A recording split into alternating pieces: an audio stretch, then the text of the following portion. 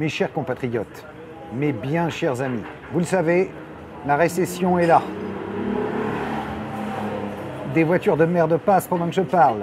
Bref, tout fout le camp. Heureusement, un film 100% français va bientôt sortir sur vos écrans, à ne pas confondre avec une sombre parodie signée Oliver Stone. Le mien s'appelle Bing W, l'autre je ne veux même pas savoir comment il s'appelle. Bref, voici la bande-annonce de Bing W, la seule autobiographie non autorisée de George W. Bush. Merci, bonsoir, vive la France.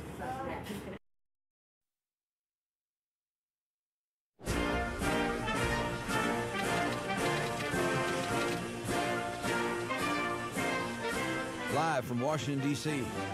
Three, two, one. My fellow citizens, My fellow citizens, after mulling things over a bit, I've finally decided to run for a third term. Our great nation needs the wisdom and clarity of thought of a great leader like me. Send him back to Washington for four more years. Someone who understands you, just like you, and a man with powerful, world changing ideas.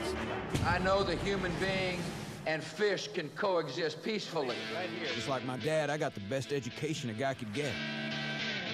Taught me everything I needed to know about stuff like responsibility. George Bush served on the board of five different companies. Every one of those companies lost money while he served on the board.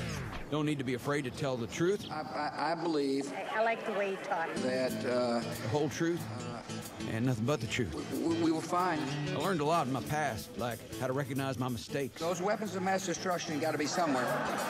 Nope, no weapons over there. how to see into the world's big problems and create even bigger solutions. Beyond the war on terror, I see a peaceful world.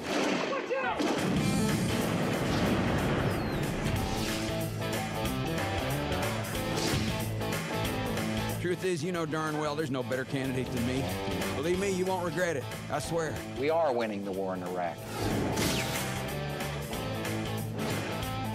I'll say that the world is more peaceful and more free under my leadership.